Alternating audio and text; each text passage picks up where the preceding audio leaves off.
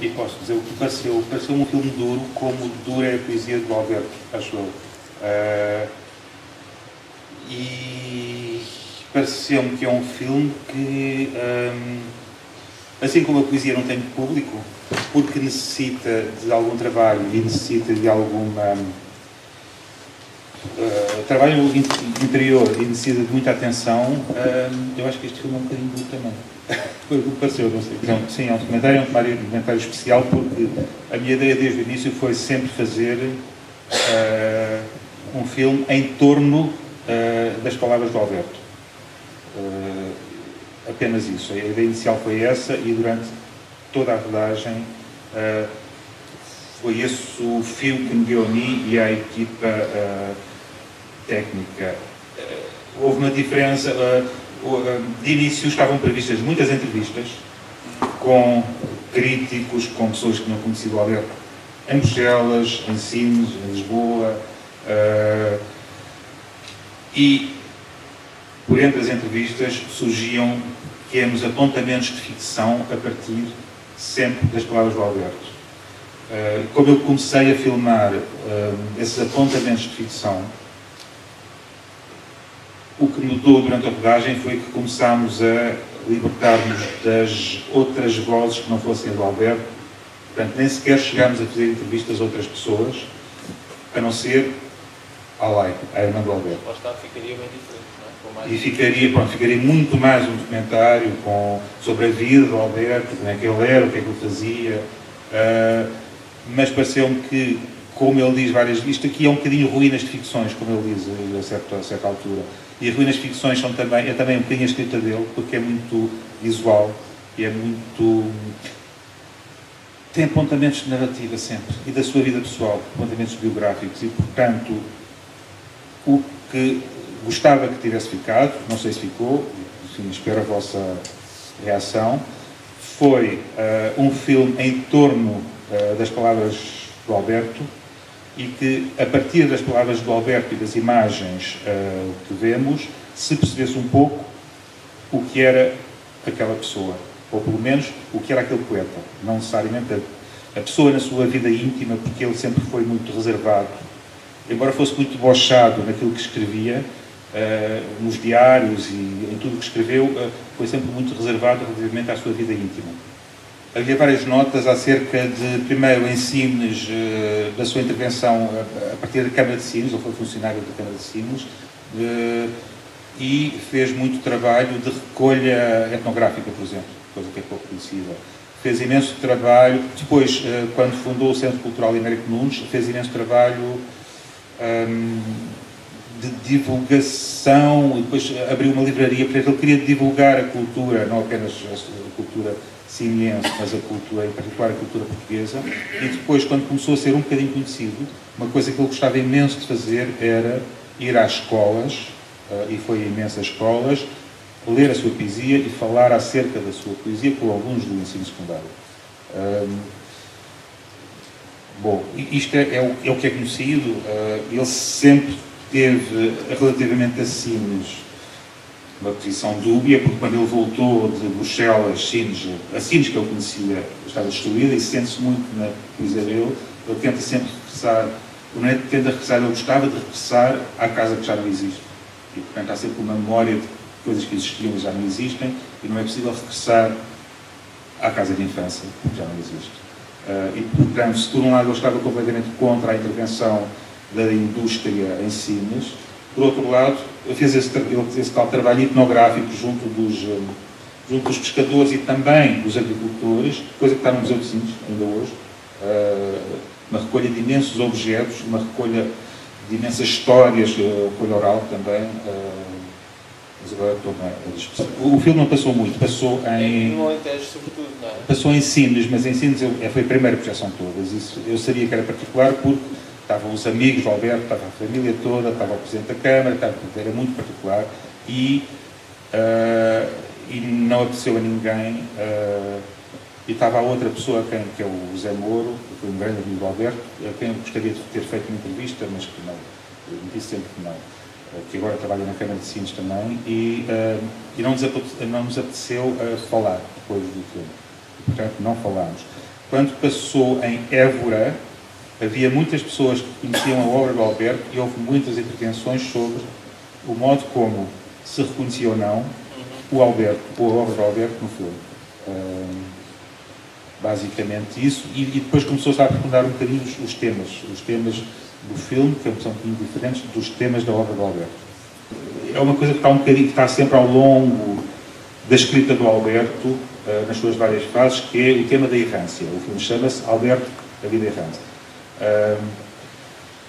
Porque ele sempre quis, aliás, eu acho que ele nunca gostou de estar no sítio que estava. Quando estava em Sines, queria estar em Lisboa, quando estava em Lisboa, queria estar em Sines, quando estava em Bruxelas, não gostava de estar em Bruxelas e queria sair, queria ir para, para a Grécia ou para a Itália, ou para outro sítio qualquer.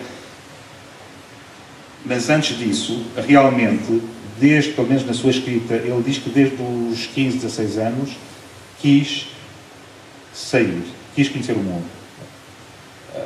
Ele nunca fez isso. O mais longe que ele foi, foi à Sardanha, à Grécia, acho eu. Nunca saiu da Europa. E a certa altura deixou de viajar, a não ser uh, para congressos literários e coisas assim, mas só dentro da Europa. Mas na sua poesia está sempre a vontade, por um lado, de viajar, por vezes enquanto o marinheiro, ou, ou, ou, a vontade de ir no barco que ele vê ao longe da janela da sua casa, ou a vontade de sair do lugar onde está, isso por um lado, e por outro, hum, a, certa altura uma espécie de aceitação que uh, a errância pode ser mental. E, portanto, não é preciso sair do sítio onde se está. A errância uh, para, se fazer uma viagem, para se ir para longe, para se, para se, a errância é, é, mental. E depois há outra coisa que está um bocadinho no filme também, que é. Uma, ele escreve imenso sobre a errância em Lisboa, a errância já é física e é mental também, porque é sempre à, à volta dos corpos que são procurados e, que não, e, e de uma, uma solidão que está constantemente perante, perante todos os corpos que são encontrados ou que são cruzados um, o que ele encontra no fundo é uma espécie de solidão. E, portanto, essa errância um pouco frenética de andar à procura de afeto, do que a gente quer chamar, um, é outro tipo de errância. E aí ele, ele, ele, ele, ele só chama errância a essa errância lisboeta, da noite lisboeta. Eu não, não queria, nunca quis retratar fisicamente o Alberto. Nunca. Uh, nem, me, nem me interessava retratar a época em que ele viveu, portanto, a, a certa altura, e, e, este ator, por vezes entra no Alberto, mas volta a sair. Está sempre assim, não é o Alberto. Pode fazer de, vez em quando. Aqui há um telemóvel, o Alberto não, não vê telemóveis, coisas assim. Portanto,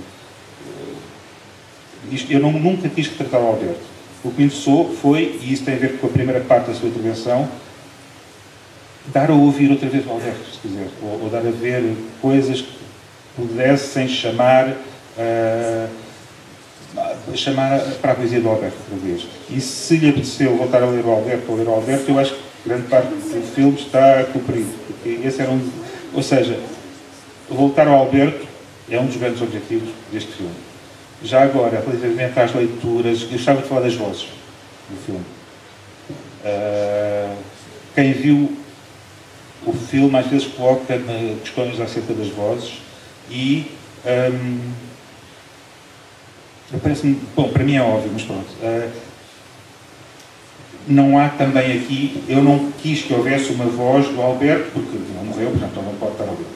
Há muitos textos de Alberto a ler, ele dizia muito bem a sua poesia, uh, mas que não entravam, eu tentei várias vezes, mas não, não entravam de modo nenhum no filme, ficava uma coisa muito estranha, ficava uma espécie de o filme não é naturalista, e portanto, se eu pusesse a voz do Alberto, a certa altura parecia que queria fazer como se fosse Alberto e, e, e, e, não colava com as imagens do filme.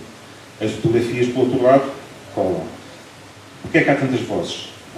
E porquê é que é dito de tantas maneiras?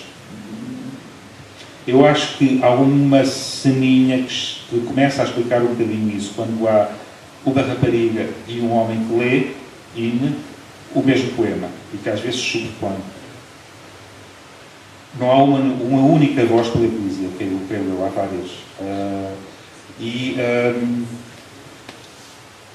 estas são as maneiras que nos pareceram a mim e aos atores uma, uma maneira possível de dizer estes poemas. Uh, há também quem fique muito perturbado, enfim, a irmã dele ficou muito para com a voz gutural que aparece a certa altura. Uh, e eu não tenho uh, resposta para isso a não ser uh, eu gosto e eu acho que fica bem. e, e, fica bem por contraste com as outras vozes também. Uh, é a única resposta que eu posso ter. Relativamente à, à relação entre a poesia e o cinema, pois eu acho que uma das dificuldades para pessoas que não gostam de poesia deste filme, ou que, ou que precisam de ter uma história linear, coisa que este filme não quer ter, é o cinema aqui é como se desse um passo atrás e deixasse a poesia para a frente. Uh, e eu creio que isso é uma dificuldade do filme. Para algumas pessoas que não, que não, que não têm a capacidade de trabalhar uh, quando. Eu acho que para ler poesia é preciso que a pessoa trabalhar. Trabalhar-se. Trabalhar a poesia dentro de si. E eu acho que nos bons filmes também. Eu, que, o que eu gosto nos filmes é quando os filmes me trabalham e quando me obrigam a trabalhar.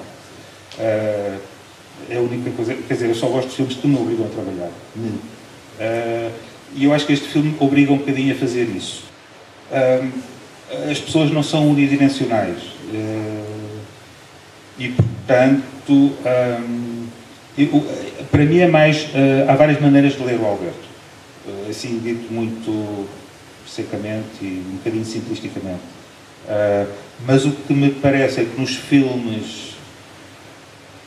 é que os filmes permitem e quase obrigam a uma interpretação individual de cada filme, de cada espectador.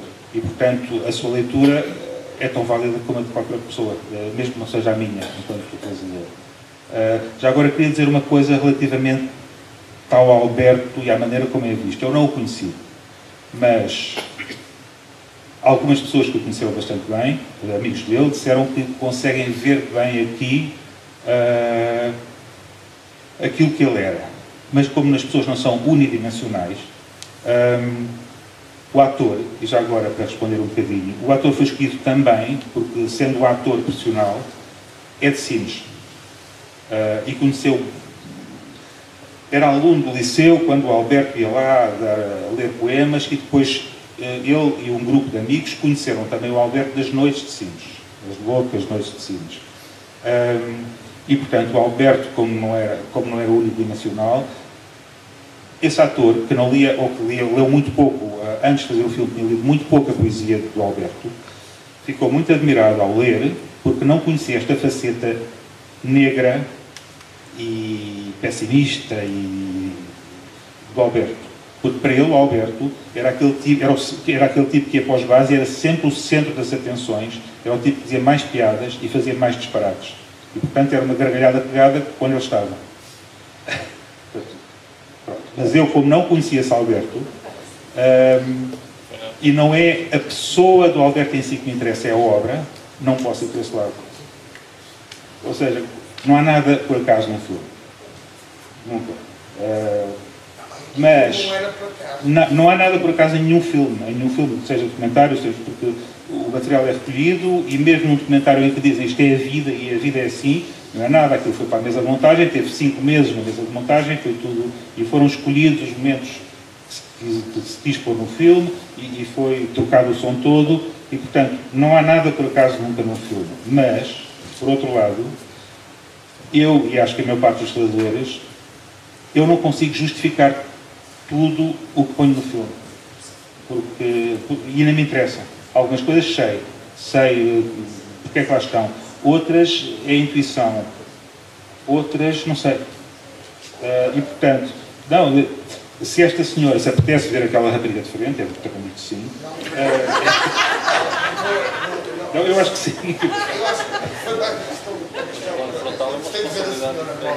É, uh, isto aqui é uma história que, pois, é isso, é, é, uma questão de responsabilidade.